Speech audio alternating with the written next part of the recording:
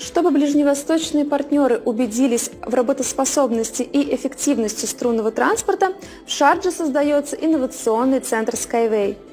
Новый центр значительно отличается от экотехнопарка в Беларуси.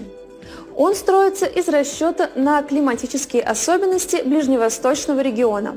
Жару до 60 градусов, пыльные бури, разъедающие морские соли в воздухе и грунтовых водах. В центре Skyway в Шардже будут представлены городские и грузовые транспортные комплексы всех типов.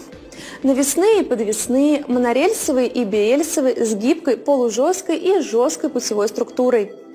Там пройдут испытания и сертификация новых транспортных средств и инфраструктурных решений.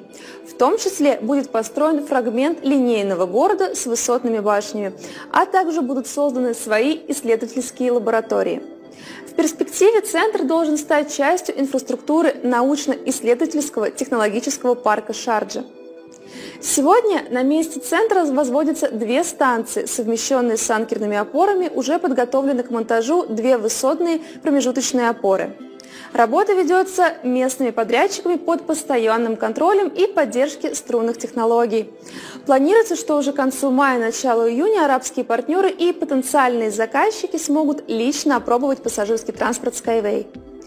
На следующих этапах строительства в инновационном центре Skyway в Шардже будут возведены еще четыре комплекса.